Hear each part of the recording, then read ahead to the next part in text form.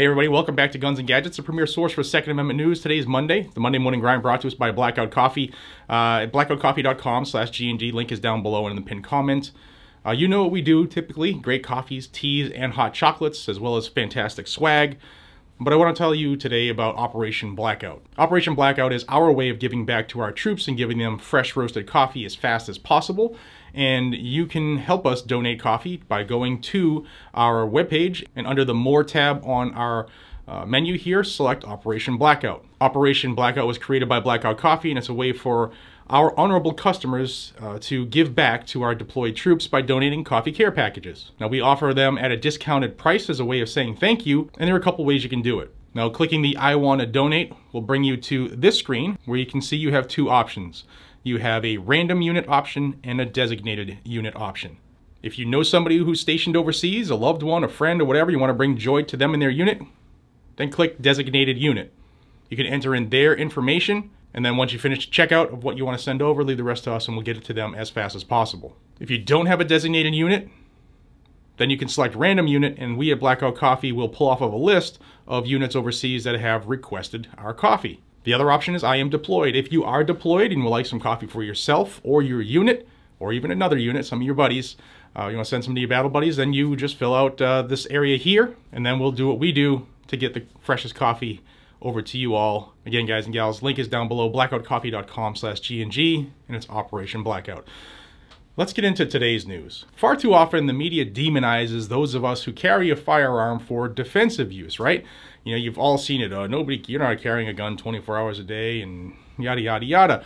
But you hear all kinds of stories about defensive gun uses, whether it's, you know, the little old lady who stopped a home invasion, or an Uber driver who saved his or her own life.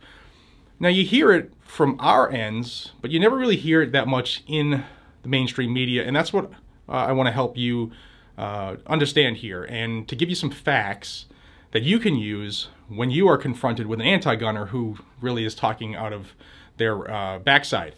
Uh, so there's several stats that I'm going to give you, and just so I get them right, I'm going to refer to my notes. And um, it's, it's interesting because we all know that defensive uh, gun uses uh, far outweigh the amount of you know negative gun uses. Uh, however, the mainstream media and the politicians only look at the negative gun uses to try to push their agenda of becoming the next Justin Trudeau paradise. Um, and that's what this video is for. So please pass this along. Um, guns are a great equalizer. When you are looking eye to eye with evil, as all of us who carry know, gun a gun on your hip is a, more effective than a cop on the phone. I say it in every video now.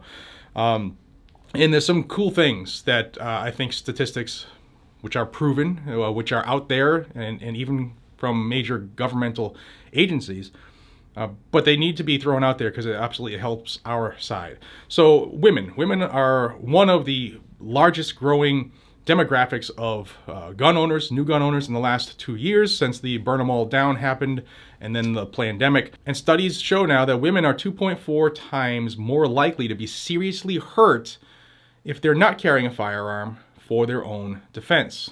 Ladies, uh, I'm going to come back to the ladies with a stat that I, I love. An average of 18 national studies show that defensive gun uses happen about 2 million times a year to save people's lives. And those numbers are much higher, as you know, than those that are thrown out by the anti-gun squad looking to ban uh, everything that's scary to them. The CDC, the Center for Disease Control and Prevention, the same group that wants more money to, you know, to study gun violence uh, so that they can restrict things like put a mask on your gun or something or maybe give your gun some type of uh, vaccine so it's not so deadly they've come out and said that there's an average anywhere between 500,000 and 3 million defensive gun uses every single year now they, it's kind of a big sway they don't want people to really know it's it's always on the high end always on the high end but for the CDC to come out and say that, then it kind of kills their anti-gun agenda just by the, the, statistics that they put out. Now, not every defensive gun usage ends up in the perpetrator being killed or, or shot or injured. And that, in fact, that only happens less than 1% of the time. Over 95% of the time a defensive uh, gun use happens, it is the simple brandishing of the firearm that stops the immediate threat to someone's life and that is a win. Even back in Bill Clinton's uh, presidency, his Department of Justice, uh, during their uh, studies, they found that uh, firearms are used defensively 1.5 million times a year or 4,000 times a day back in the Clinton era. And even Obama's CDC came out and said that uh, defensive uh, or guns are used uh, to save a life 16 to 100 times more than they are to take a life. So, what does that tell you? Guns aren't the problem, it's the criminal. In fact, firearms carried on one's person for the purpose of self defense have proven million times, year after year after year, to do just that. Uh, in 1995, there was an award-winning study done by Dr. Gary Kleck, and he found that, that firearms are used defensively more than 2.5 million times a year, or more than 7,000 times a day. You certainly don't hear one iota of, of those numbers as far as what the, the mainstream media will tell you. I told you we are going to come back to women. Women, again, one of the biggest, uh, fastest growing demographics of new gun owners. Uh, we now, well, we have known, but it's it's come out in statistics now that uh, women use a firearm for their own self-defense to stop a rape, a sexual assault, or a domestic violence situation more than 200,000 times a year. And that is fantastic. That is great. And those numbers, guys and gals, those are just the ones we know about.